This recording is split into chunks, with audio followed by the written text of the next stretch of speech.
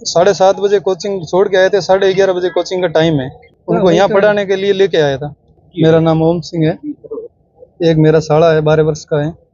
और एक बच्चा है सात साल का एक भाई बच्ची है चार पाँच साल की।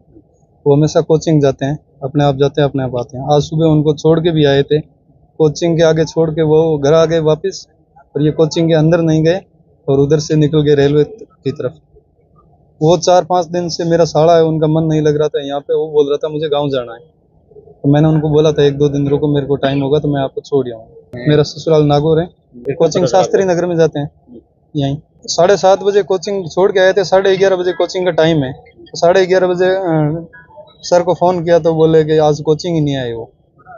तब से इधर उधर घड़िया में देखा इंफॉर्मेशन दी इधर उधर सबको देखा दो चार घंटे हमने ढूंढा फिर हम कोतवाली थाना गए।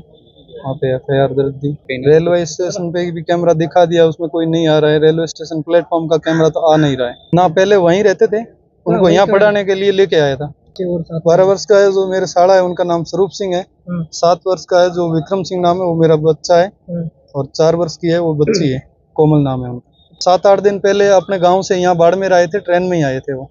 ना मेरे विशेष साथ में थे।